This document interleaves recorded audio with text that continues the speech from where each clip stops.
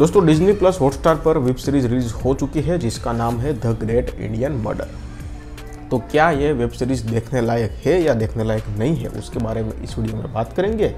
और आगे मैं आपको बताऊँगा कि क्या किस तरह की स्टोरी है इसमें, और ओवरऑल मेरा एक्सपीरियंस कैसा रहा इस सीरीज़ को देखकर।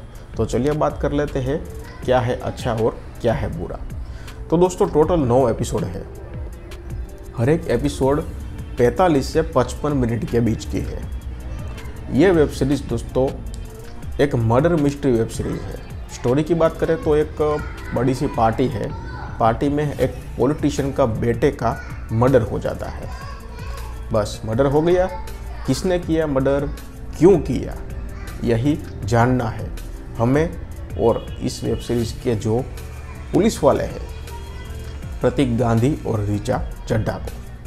तो बस यही कहानी है। कहानी में दोस्तों बिल्कुल नयापन नहीं है। इस तरह की कहानी हमने आगे कई बार वेब सीरीज़ में और मूवीज़ में देख रखी है। तो कहानी के बारे में ये वेब सीरीज़ बिल्कुल नई नहीं है। तो अब इस वेब सीरीज़ में नया क्या है? इस वेब सीरीज़ में नया है दोस्तों इसका प्रेजेंटेशन, इसका एग्जीक्यूशन जो इस वेब सीरीज़ का एग्जीक्यूशन है, जिस तरह से कहानी को प्रेजेंट किया है, वो मुझे पर्सनली बहुत अच्छा लगा। बहुत ही अच्छा लगा। कमाल के एग्जीक्यूशन और कमाल के प्रेजेंटेशन की वजह से ही आप इस वेब सीरीज़ से एंड तक जुड़े रहेंगे। तो दोस्तों स्टोरी तो बिल्कुल नई नई है, इसलिए स्टोरी को तो मैं आधा स्टार ही दूँगा। लेकिन इसका प्रेजेंटेशन इसका एग्जीक्यूशन इस डिपार्टमेंट को मैं पूरा एक स्टार देने वाला हूँ।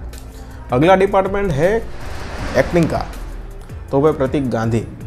प्रतीक गांधी को अभी थोड़ी मेहनत करनी पड़ेगी। हाँ स्कैम 1992 के बाद प्रतीक गांधी कई हिंदी मूवीज़ वेब सीरीज़ में दिखाई देने वाले हैं, लेकिन इस वेब सीरीज़ में प्रतीक गांधी ने हमें बिल्कुल निराश भी नहीं किया है, लेकिन अच्छी वाले एक्टिंग भी नहीं की है तो प्रतीक गांधी को थोड़ी मेहनत करनी पड़ेगी। रिचा चड्ढा की बात करें तो रिचा चड्ढा एज यूजल हमने आगे मूवी और वेब सीरीज़ में देखा ही है। उसी तरह का सेम काम यहाँ पर है। आशुतोष राणा की बात करें दोस्तों तो आशुतोष राणा इस वेब सीरीज़ के बादशाह है।